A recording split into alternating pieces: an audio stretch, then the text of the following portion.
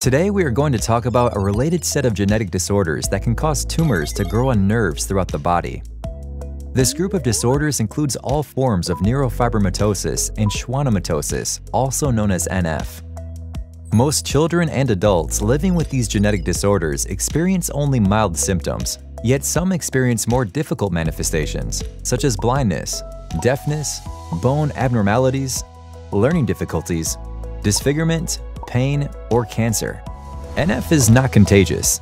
It affects both males and females, and people of every population equally.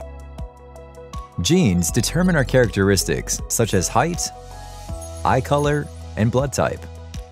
Genes also determine the way our body develops and functions.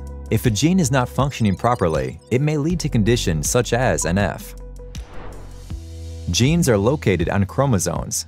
Each of us normally inherits 23 chromosomes from our mom and 23 from our dad, for a total of 46 chromosomes.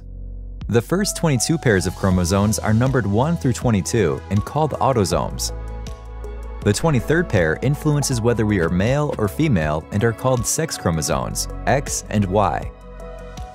Each type of neurofibromatosis or schwannomatosis is caused by a pathogenic variant in a gene. Pathogenic variant is a newer term for what was previously called the mutation and means a change in the coding of the gene that causes it to function incorrectly.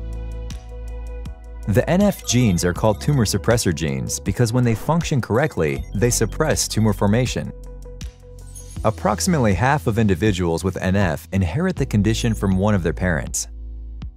The other half inherit these disorders as a result of a spontaneous change in one of the genes before birth or soon after an embryo develops.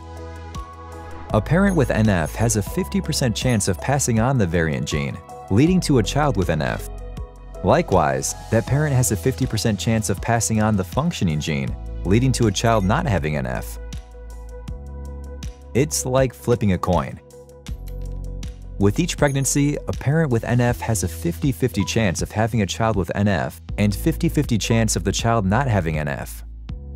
This is called autosomal dominant inheritance. Because the genes for neurofibromatosis and schwannomatosis do not involve the sex chromosomes, they are autosomal and dominant, which means that it takes only one copy of the variant gene to cause either disorder. Some conditions result from having two copies of variant genes, and those are referred to as recessive. If a child of someone with NF does not inherit the variant NF gene, they do not have NF and therefore cannot pass it on to their children. We hope this video helps you understand neurofibromatosis and schwannomatosis and other autosomal dominant genetic disorders. We hope you will share this video with others.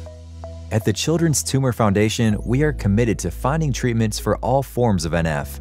To find out more, visit the Children's Tumor Foundation at ctf.org.